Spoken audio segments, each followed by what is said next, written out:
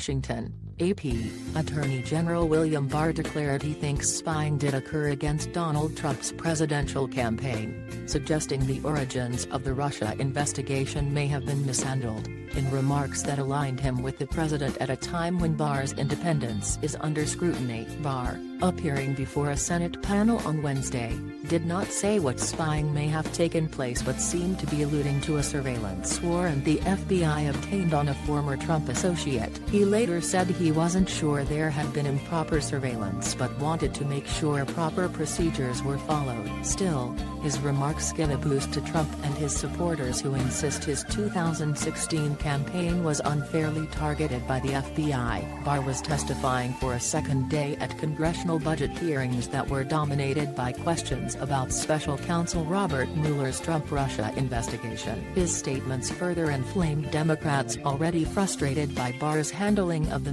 Mueller report, including his release of a four-page summary letter last month that they say paints the special counsel's findings in an overly favorable way for the president. The Attorney General said he expects to release a redacted version of Mueller's report on Russian interference in the campaign next week. In an interview with the Associated Press, House Speaker Nancy Pelosi said she didn't trust Barr and suggested his statements undermined his credibility as America's chief law enforcement officer. House Judiciary Committee Chairman Jerrold Nadler of New York tweeted that Barr's comments directly contradict what the Justice Department previously has said. And Intelligence Committee Chairman Adam Schiff of California said Barr's comments were sure to please Trump but strike another destructive blow to our democratic institutions. Republicans, meanwhile, praised Barr's testimony. North Carolina Rep. Mark Meadows, a Trump confidant who has raised concerns about Justice Department conduct,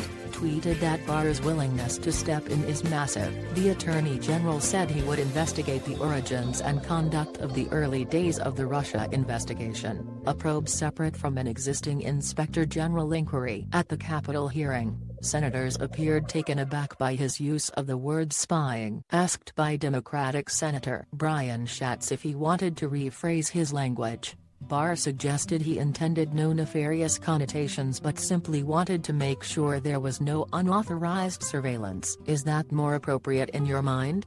He asked Schatz. Barr is an experienced public figure who chooses his words carefully, and it's not clear if he realized what a political storm he'd create in using the word spying. While it could be used to describe lawful and necessary intelligence collection activities, for Trump and his supporters the word has an inherently negative meaning, and Barr's use of it tapped into a White House narrative of law enforcement misconduct. White House spokesman Hogan Gidley said on Fox Business Network that people were wiretapped. People were looked into and spied upon. That should be a serious question that the American people should demand answers for and quite frankly so should Congress. Trump himself, who has repeatedly called the investigation of his campaign a witch hunt, said on Wednesday, it was started illegally. Everything about it was crooked. Every single thing about it. There were dirty cops. Though Barr said at his January confirmation hearing that he didn't believe Mueller would be involved in a witch hunt, he struck a different tone Wednesday and said it depends on where you're sitting. If you are somebody who's being falsely accused of something, you would tend to view the investigation as a witch hunt, he said. The spying discussion started when Barr was asked by Senator Jeanne Shaheen, a Democrat, about his plans to review his department's actions in investigating Trump. Barr explained that he considered spying on a political campaign to be a big deal, invoking the surveillance of anti-war protesters during the Vietnam War. Asked by Shaheen if he was suggesting spying had occurred, Barr replied spying did occur. Yes, I think spying did occur. The question is whether it was predicated, adequately predicated, meaning whether it was legally justified. Barr later said that although he did not have specific evidence of wrongdoing, I do have questions about it. I feel I have an obligation to make sure that government power was not abused, he said. Asked again about spying at the end of the hearing, Barr tempered his tone. I am not saying improper surveillance occurred. I am saying I am concerned about it, and I am looking into it, he said.